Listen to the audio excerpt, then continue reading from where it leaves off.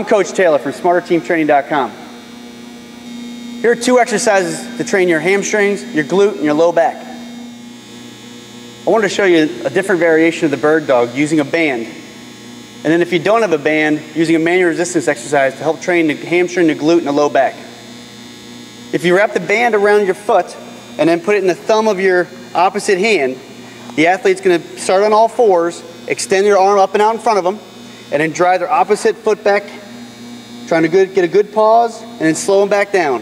Drive your hand up and straight out, and then drive your foot straight out.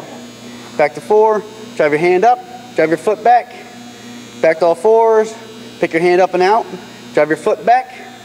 We would do anywhere between 8 and 15 reps. We would switch to the other side. We'd maybe do two to four sets. If you do not have a band, we'd actually put the athlete on their belly, hands out in front of them, what we would consider a Superman position.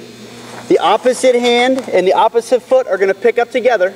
I'm going to spot by putting my hand on the humerus or right on the tricep area, and then put my hand on the low aspect of their hamstring right behind their knee. The athlete's going to pick one arm up, one opposite leg up, hold up to the top, and I'm going to push them down. Ready? Yep.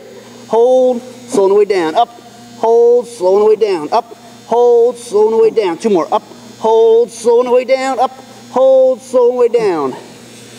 We repeat this on the other side. Again, maybe doing between two and four sets, depending on the strength level of the athlete. Thank you. Check out Smarter Team Training for more information.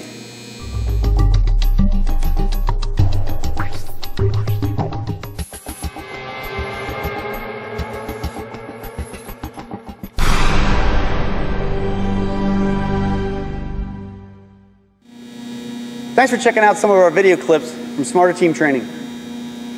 Before you go, please do me a favor, rate this clip and leave a comment. Make sure you check out Smart Team Training for all your athletic development needs. I hope all is well. Have a great day.